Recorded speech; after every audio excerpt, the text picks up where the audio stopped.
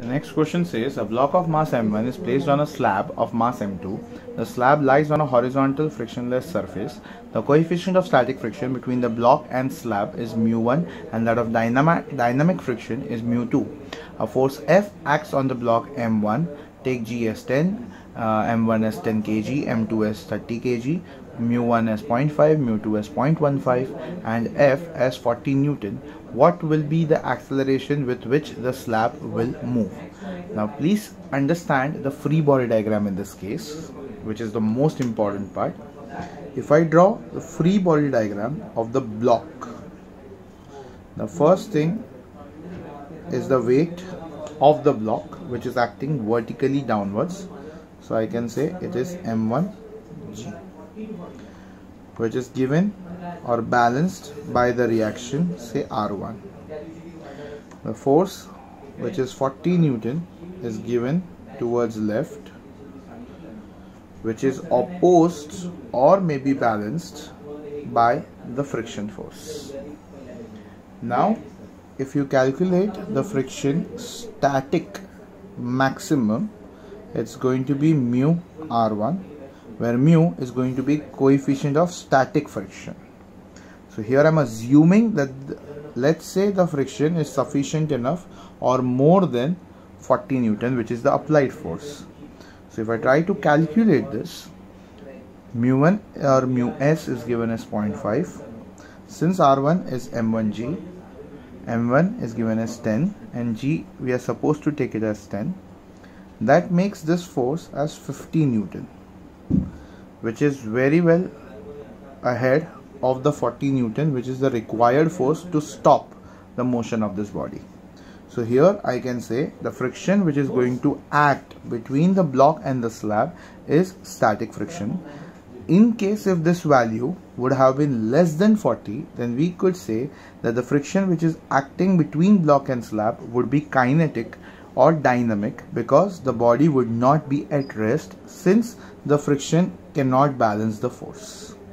So here I can say the maximum possible friction force is 50 but the required is only 40 therefore the friction which is acting on the block due to slab is going to be 40 Newton.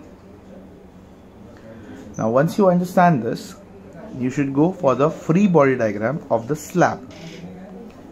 So if I draw a free body diagram of the slab you would find the weight acting downward is going to be m1 plus m2g because it is the total weight acting downwards and there will be a normal reaction R2 acting vertically upwards. Since the ground is frictionless, there will be no friction acting on the bottom of the slab, but the block is experiencing a friction backward which will give as a reaction friction to the slab in the forward direction and that will cause the slab to move with some acceleration as m2a. So here I can say the reason for this slab to move is the friction and therefore I can say the friction itself is m2a. Now the friction we have already calculated as 40. The m2 is given as 30 kg. And so the acceleration is going to be 40 by 30 which is approximately 1.33 meter per second square. But now if you try and understand over here the block or the slab is not going to move alone. Since the block is experiencing enough friction to not allow it to move we can say the block and the slab will move with a common acceleration. And therefore this particularly M2A must be changed to M1 plus M2A since both the bodies are going to move together.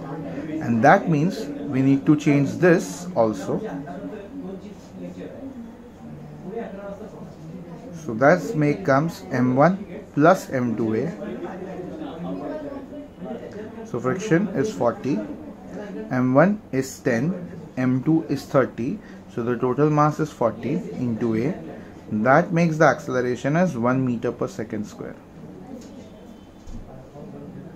In case this friction would have been kinetic and this body would be moving because of the excess force then the acceleration of both the block would have been different so you can say the acceleration over here is the same is the reason why we have taken this as the common total mass into acceleration otherwise I would have taken only m2a which I actually tried and got 1.33 meter per second. So here in this case the final answer would be 1 meter per second square and both the block and the slab will move with the same acceleration.